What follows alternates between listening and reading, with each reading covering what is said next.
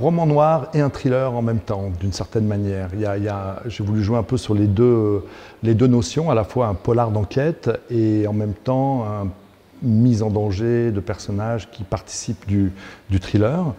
Et il est porté par trois personnages principaux, deux sont vivants, un est mort, et il incarne un peu cette ombre qui plane sur l'histoire et sur les deux autres qui sont à la poursuite d'un tueur qui a commis un crime, crime très élaboré dans les montagnes de San Bernardino, San Bernardino pardon, dans le désert, et un crime qui rappelle très fortement la, la méthodologie d'un tueur passé, exécuté depuis 15 ans, qui était un prêtre, serial killer, et qui va, qui va hanter en fait tout le récit à partir de la découverte de ce crime.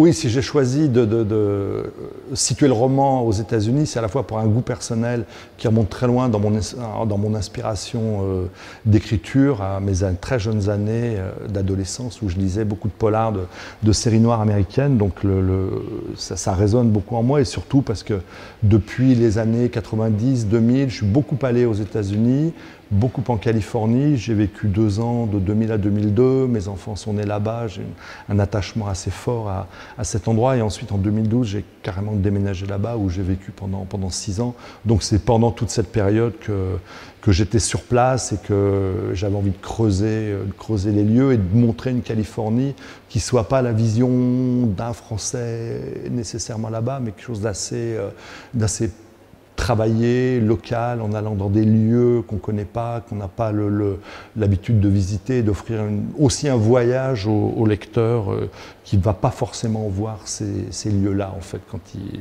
quand il se déplace. Quoi. La figure, la figure du tueur en série américain est d'autant plus marquante que pendant de longues années, euh, c'est un phénomène qu'on réservait aux États-Unis. Moi, je me souviens dans les années 90 où j'allais justement beaucoup aux US et quand je revenais en France, on disait non, non, il n'y a pas de tueur en série français, c'est un phénomène, euh, c'est un phénomène purement anglo-saxon. Et c'était très très difficile de faire des histoires euh, euh, avec des tueurs en série. On avait beau avoir parfois des meurtres qui étaient attribués à, une même personne, mais non, non, non, c'était, c'était, étrange. Il y avait comme une sorte de déni, de chape. Et, d'ailleurs, même quand j'avais rencontré le, enfin j'avais pas rencontré le tueur du Zodiac, heureusement d'ailleurs, mais un documentaire sur le Zodiac, le tueur du Zodiac, et ça m'avait frappé. Et euh, euh, justement, ce tueur qui tuait peut-être pour constituer une figure, enfin un, mobile complètement fou, qui n'était pas humain, qui était euh, typique du, tueur en série. Et, et, pour la première fois, quand j'en avais parlé en France, on m'avait dit Ah, c'est intéressant, c'est romanesque, quelque part. Euh, et, j'avais fait la série Zodiac basée sur, euh, lointainement, mais j'avais ramené cette thématique dans, nos, dans, notre paysage français pour faire la série Zodiac, qui était le, thriller de l'été euh, en 2004 et 2006. Mais du coup, effectivement, il y, a, une, idée d'aller chercher un rapport plus direct au crime, plus... plus, plus, mythique en fait.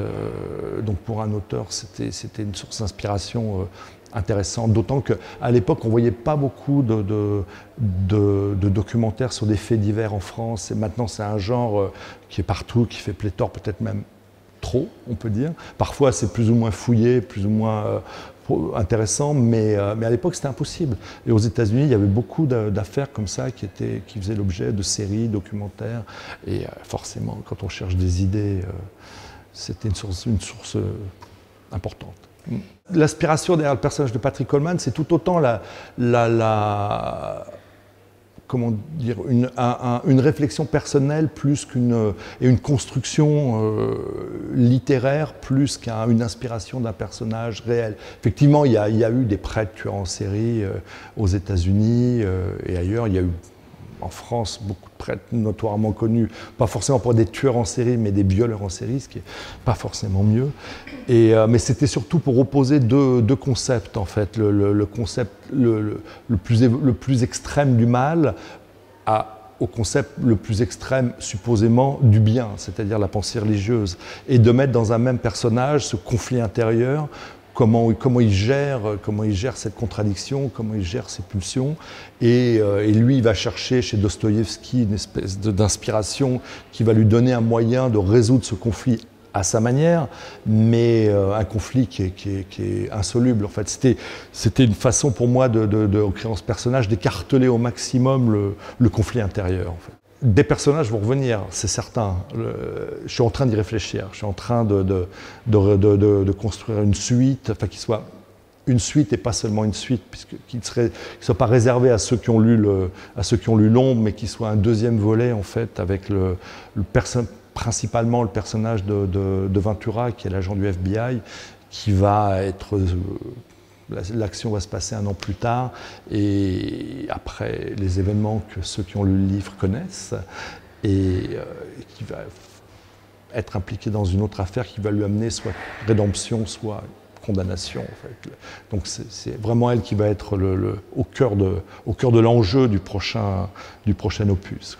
Je vois bien trois volets en fait. Je vois bien une trilogie euh, euh, dans ma petite tête j'appelle la trilogie de l'ombre euh, pour avoir le, le, problème,